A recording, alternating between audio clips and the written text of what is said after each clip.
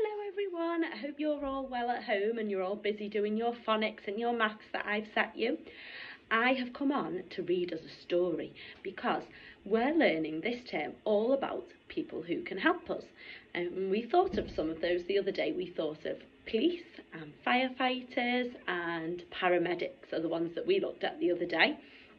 And we're going to look at one of those today. And the one that I've picked is firefighters. So we're going to have a look at this story. Topsy and Tim meet the firefighters. Have you ever met a firefighter? I met one the other week. I went shopping in Morrison's and parked in the car park was a fire engine. And my little boy loves fire engines, so we went over and we had a little look. And next minute, out of Morrison's came the firefighter. And do you know what he'd been in to Morrison's for? He'd been buying his dinner and he was buying pizza and chicken goujons for him and the firefighters back in the fire station.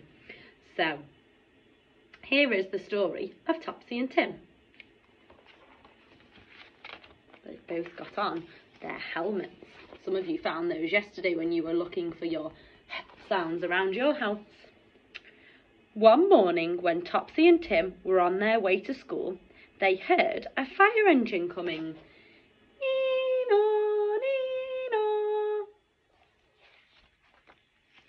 It raced past them, sirens sounding and blue lights flashing.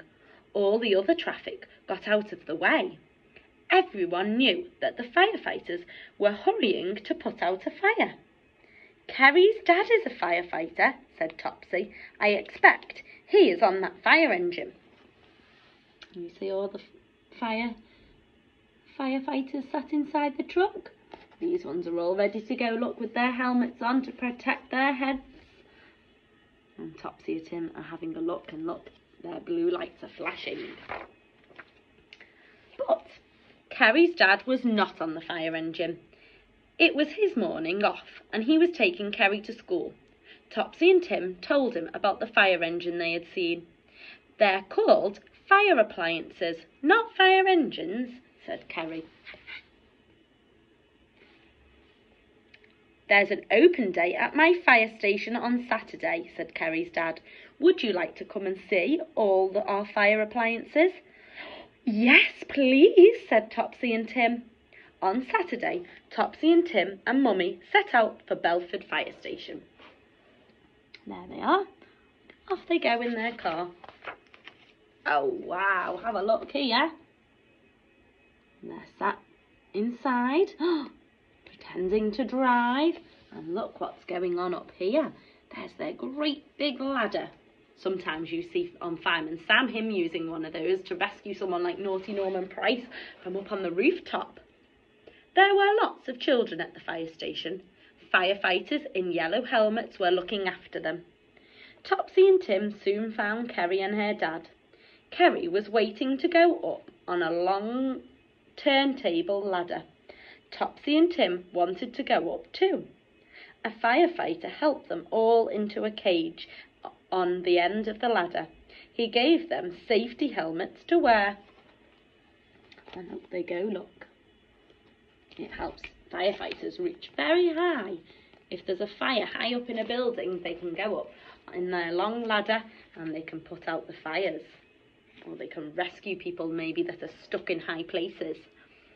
Oh, here they are, look, with their, their helmets on.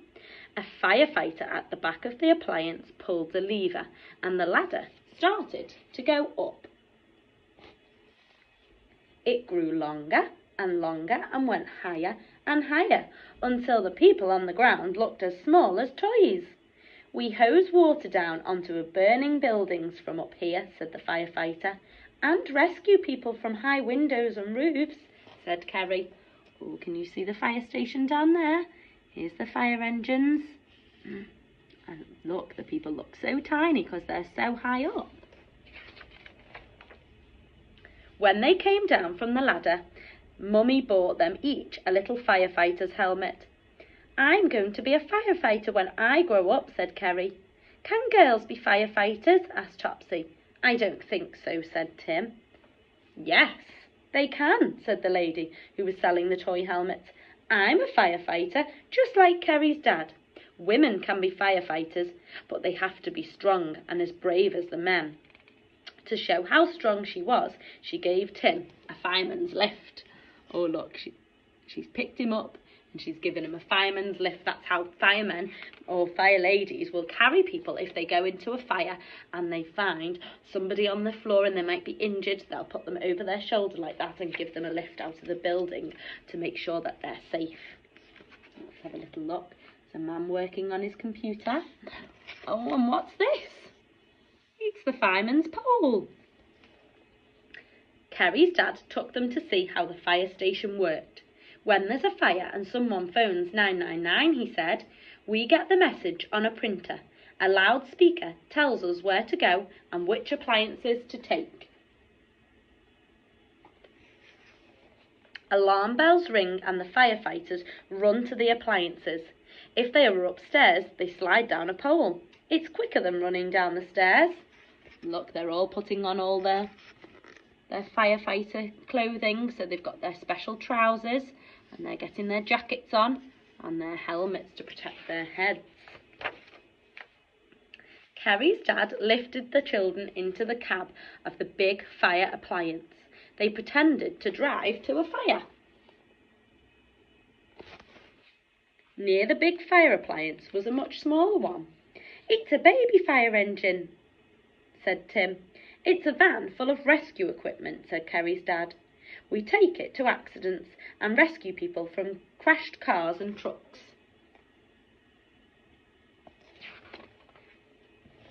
Kerry's dad showed them the tall tower where the firefighters practice with their ladders and hoses.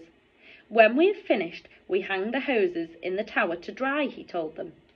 Next to the tower was a room that had been on fire. It made their noses tickle. We make smoky fires in there, said Kerry's dad. Then we practice putting them out and rescuing people. We have to wear masks and carry tanks of air on our back, or we would choke. So can you see that's their special uniform? They've got all their their clothes on, so they've got their jacket and their trousers, which will protect them from the, the fire. And then they also wear their helmet. And what's he got on his face here? This is a mask and it look can you see there's a little special pipe and it goes over his shoulder onto his back and there's a tank on his back and inside it is oxygen which is air. So that helps him to breathe because if he breathes in all this smoke it would make him choke. So he's got this on with some special clean air so that he can stand there and put out the fire. Kerry took Topsy and Tim into a showroom full of fire dangers. It looked like an ordinary living room. See if you can spot where fires could start, said Kerry. Tim spotted an iron had been left face down. That could start a fire, he said. So leaving your iron like this, because it's so hot, if you left it like that for a very long time, it could start a fire. Topsy spotted a box of matches on the floor. A naughty child might start a fire with those, she said and that fire should be behind a fire guard, said Mummy. So can you see the matches are on the floor and matches are not for children to play with, are they? Only for grown-ups. Oh, here they are. That looks like they're in a kitchen. Can you spot any dangers in the kitchen? Mummy spotted more fire dangers near a kitchen stove. Are smoke detectors any use, she asked. Kerry's dad. I think I ought to get some. Kerry's dad showed them a smoke detector and it made it work. It made a loud bleep, bleep, bleep noises. If there was a fire in your home one night, the smoke detectors would wake you up, he said. We've got some smoke detectors, Kerry told Topsy. So people have smoke detectors in their houses, and if it detects any smoke, then it might start beeping. Sometimes they beep if some grown-ups are cooking and maybe they're burning a piece of toast by accident and that might set off the smoke detector. But smoke detectors are helpful because they detect any smoke which could be the start of a fire. It was time to go home, but before they went, Kerry's dad gave them one last treat. It was a ride round the fire station yard on a children's fire appliance. The clever firefighters had made it especially for their open day, and it went nee-no, nee-no, just like a real fire engine. Oh, now it says, now turn the page and help Topsy and Tim solve this puzzle. Oh, there they are. Oh, look, there's Topsy and Tim, and they've both got a hose, and it's putting out the fire. Follow the hoses and see if you can help Topsy and Tim work out which one is putting out the fire. And we'll see if I can do it with my finger, so I'll follow it along. Oh, is it this one? No, not that one. Let's try this one. Oh, not that one either. Let's try the bottom one. Hooray! There we go. There's the fire all put out, all nice and safe. Well done. Good listening, everyone. So, I want you to see if you can think back. Can you think of some of the jobs that firefighters do? They help put out fires.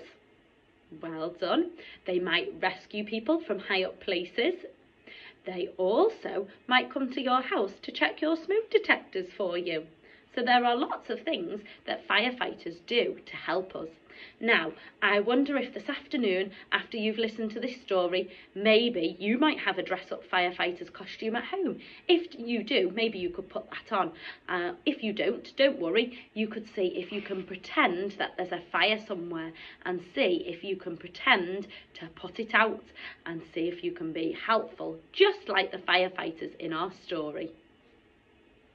Take care, boys and girls. See you soon.